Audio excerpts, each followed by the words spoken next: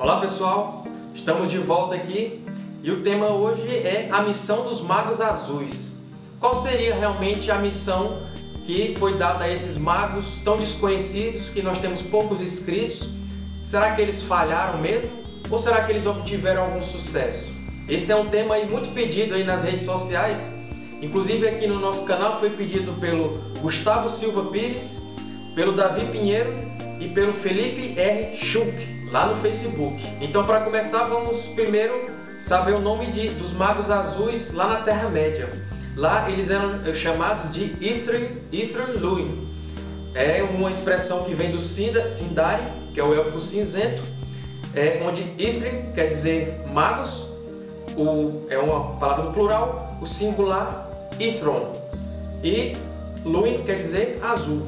Basicamente, os magos azuis são os Istari, enviados para combater a vontade de Sauron nas regiões mais distantes da Terra-média. Apesar de haver pouca coisa que falando sobre eles, é, nós vamos ver aqui que até os nomes que eles receberam a princípio depois mudaram. Tolkien criou novos nomes para eles. E é, é as suas concepções, a sua missão mudou também. A questão se eles falharam, se não falharam, também houve uma mudança aí na concepção de Tolkien. E como nós sabemos, Tolkien ele estava sempre alterando algumas histórias, algumas características, algumas coisas do seu legendário, né? de tudo aquilo que trata da Terra-média. E não foi diferente com os Magos Azuis. Primeiro ele pensava de uma forma e a gente vai ver que no final ele mudou aquilo ali que ele antes imaginava. Em O Hobbit, nós sabemos da existência de Radagast e de Gandalf. E no Senhor dos Anéis é que nós ficamos sabendo que também havia Saruman e numa pequena passagem, Saruman deixa escapar que na verdade havia cinco magos.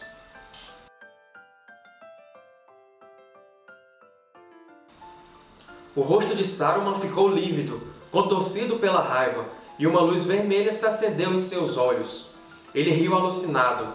Mais tarde, gritou ele, e sua voz se ergueu num grito.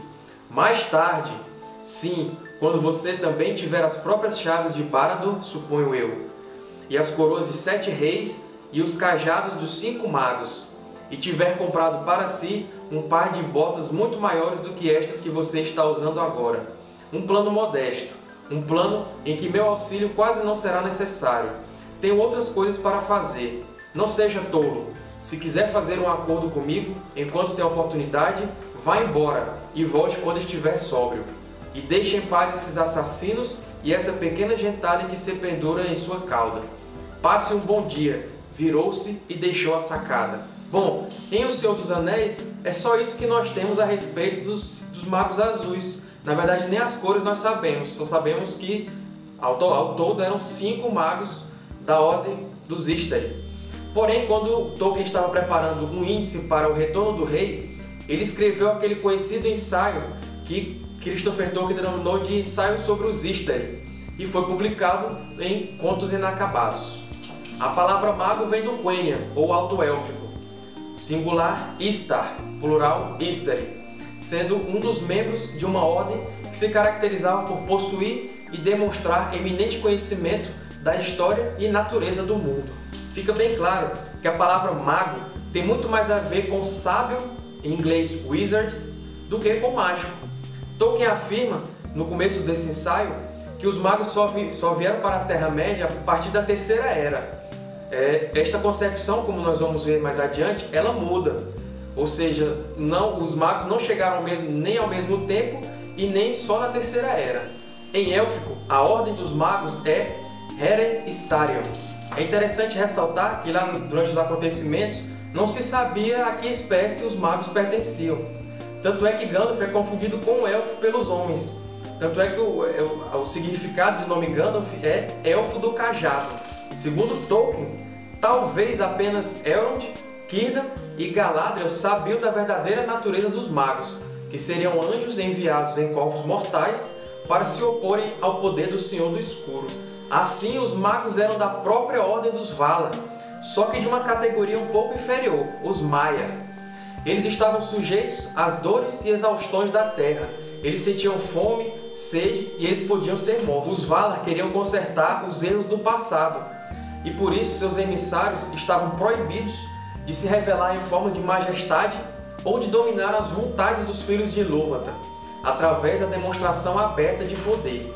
Os magos atuavam mais por intermédio do aconselhamento e da persuasão. Uma coisa curiosa que Tolkien fala no ensaio sobre os Istari é que, entre aspas, o número de membros da ordem é desconhecido, mas daqueles que chegaram ao norte da Terra-média, onde havia mais esperança, por causa do remanescente dos Dúnedain e dos Eldar que lá habitavam, os principais eram cinco.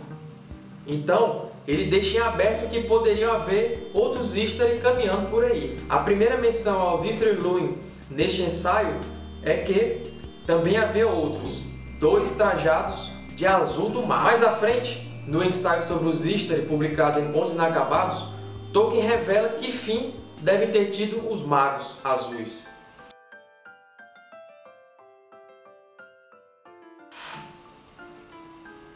Dos azuis, pouco se conhecia no oeste e não tinham nomes, exceto Luin, os magos azuis, pois foram ao leste com Curunir, mas jamais voltaram. E se permaneceram no leste, lá seguindo os propósitos para os quais haviam sido enviados, ou pereceram, ou ainda, como afirmam alguns, foram apanhados por Sauron e se tornaram seus servos, não se sabe agora. Mas nenhuma dessas alternativas era impossível de acontecer, pois por muito que isso possa parecer estranho, os Istari, visto que trajavam corpos da Terra-média, podiam afastar-se de seus propósitos exatamente como os homens e os elfos, e fazer o mal, esquecendo-se do bem na busca pelo poder de realizá-lo. Ainda no ensaio sobre os Istari, Tolkien afirma que apenas um permaneceu fiel, que foi aquele que havia chegado primeiro à Terra-média, ou seja, Gandalf, o Cinzento. Nós vamos ver que este também é um ponto que foi posteriormente revisto por Tolkien. Christopher Tolkien fala em Contos Inacabados que havia anotações de seu pai é, contando rapidamente como é que foi a decisão de enviar os magos para a Terra-média. Fala-se então de um conselho dos Valar, no qual foi resolvido que enviariam três emissários para a Terra-média. Segundo consta, os que fossem deveriam ser poderosos e pares de Sauron, mas teriam que renunciar ao poder e se trajar em carne para tratar com igualdade e conquistar a confiança dos elfos e dos homens. Somente dois voluntários se apresentaram. Curumo, que foi escolhido por Aulê. Curumo viria a ser Saruman. E o outro foi Alatar, enviado por Oromen. Alatar é um dos magos azuis. Manwë perguntou então por Olório, que havia acabado de retornar de uma viagem. Então disse a ele que gostaria que ele fosse como terceiro emissário para a Terra-média. Só que Olório disse que se achava muito fraco para o trabalho e também que temia Sauron. Olório, como nós sabemos, viria a ser Gandalf. Ao final dessas breves anotações, é dito que, que Kurum, Saruman, levou Aywendil, que é Radagast, a pedido de Yavanna, e Alatar levou Palando como seu amigo. Alatar e Palando eram os dois magos azuis. Christopher Tolkien especula ainda que Orombe talvez fosse o Vala com maior conhecimento das regiões longínquas da Terra-média, e que por isso ele enviou Alatar e Palando para que eles fossem a esses locais e ficassem por lá. O que temos de material de Tolkien após esse, esse ensaio é uma carta onde ele tangencia o assunto dos magos azuis.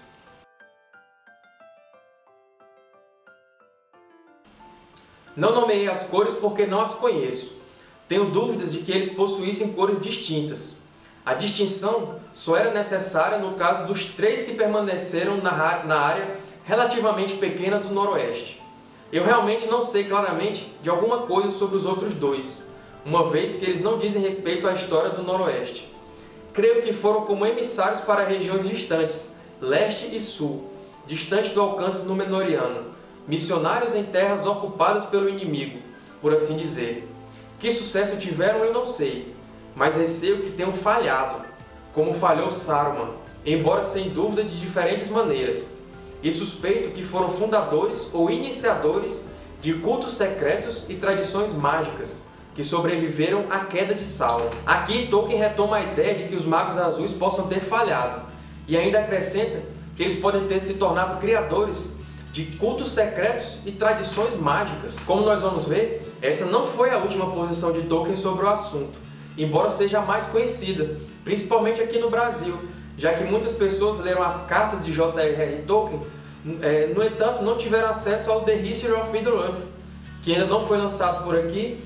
É, então, o acesso à totalidade dos escritos de Tolkien ainda está prejudicado, a não ser que se importe os livros e se leia em inglês. Então, até aqui, a história dos Magos Azuis pode ser resumida da seguinte forma. Manwë convoca um conselho dos Valar onde eles decidem enviar emissários para a Terra-média. Orome decide enviar Alatar e este leva seu amigo Palando. Os Magos Azuis chegam à Terra-média na mesma época que os demais magos, no ano 1000 da Terceira Era. Os Magos Azuis viajam para o leste da Terra-média com Saruman. Saruman retorna para o noroeste sem os Magos Azuis.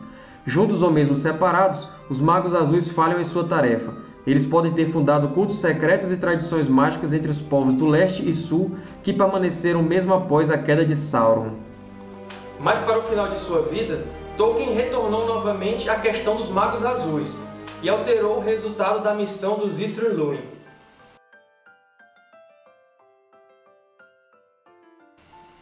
Não há nomes registrados para os dois magos. Eles nunca foram vistos ou conhecidos a oeste de Mordor. Os magos não chegaram ao mesmo tempo. Possivelmente, Saruman, Gandalf e Radagast sim. Mas é mais provável que Saruman, o líder, e já consciente disso, chegou sozinho primeiro. Provavelmente Gandalf e Radagast vieram juntos, embora isso não tenha sido dito, o que é mais provável. Glorfindel também encontrou Gandalf nos portos. Os outros dois só são conhecidos por terem existido por Saruman, Gandalf e Radagast. E Saruman, em sua ira, mencionando os outros dois, estava deixando escapar uma informação sigilosa. Percebemos aqui que os magos não mais chegaram todos na Terceira Era, pois os azuis devem ter vindo bem antes, em 1600 da Segunda Era, junto com o elfo Glorfindel. E agora nós temos o texto mais importante que resume a missão dos magos azuis na Terra-média e define se eles tiveram sucesso ou se eles falharam.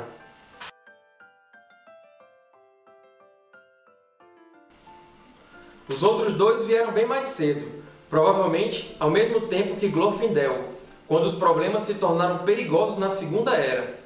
Glorfindel foi enviado para auxiliar Elrond, e foi, embora não seja dito, preeminente na guerra em Eriador. Mas os outros dois Istari foram enviados para um propósito diferente. Morinetar e Romestamo, matador da escuridão e auxiliador do leste. A tarefa deles era de levar Sauron ao Logro, trazer ajuda às poucas tribos de homens que haviam se rebelado contra a veneração a Melkor, incitar a rebelião, e depois de sua primeira queda, procurar seu esconderijo, no qual eles falharam, e causar discórdia e confusão no escuro leste.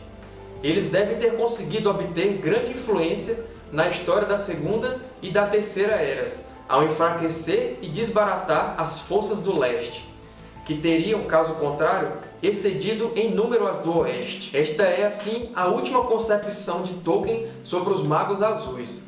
Seus nomes aqui são Morinetar, que significa Matador da Escuridão, e Romestamo, que significa Auxiliador do Leste. E a função principal dos Magos Azuis era de instigar a revolta dos povos do Leste contra o domínio de Sauron, e isso eles conseguiram com relativo sucesso. Caso contrário, as forças do Senhor do Escuro teriam engolido os exércitos do Oeste no final.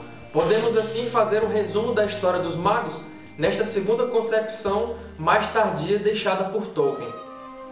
Os Magos Azuis foram enviados para a Terra-média mais ou menos na mesma época que Glorfindel, em 1600 da Segunda Era, o mesmo ano em que Sauron forjou um anel e completou a construção de Barad-dûr. Os Magos Azuis fizeram a jornada para o leste da Terra-média, onde permaneceram. Nunca foram mencionados ou vistos a oeste de Mordor.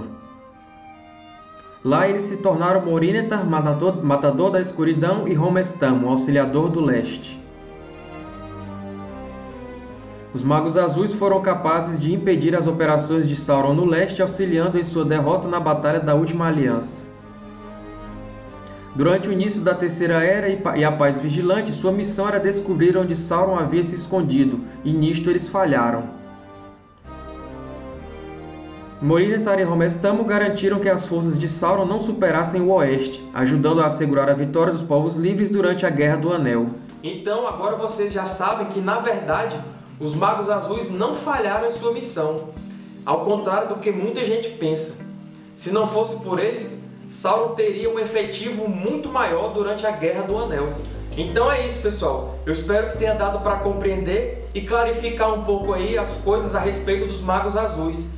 Lembre-se que aquilo que a gente pensa, muitas vezes, é, Tolkien falou diferente. Então, se vocês achavam que eles tinham falhado, os Magos Azuis, na verdade não. Eles falharam um pouquinho ali em não descobrir para onde Sauron foi depois da primeira derrota. Mas depois eles tiveram um papel muito importante em segurar um pouco ali as forças do leste para que elas não superassem as forças do oeste. Muito obrigado então pela audiência. Deixo aqui aquele meu pedido de sempre. Curta, compartilhe, se inscreva no canal que ainda não se inscreveu, comente aqui embaixo, deixe a sua opinião. Até o próximo vídeo e um abraço!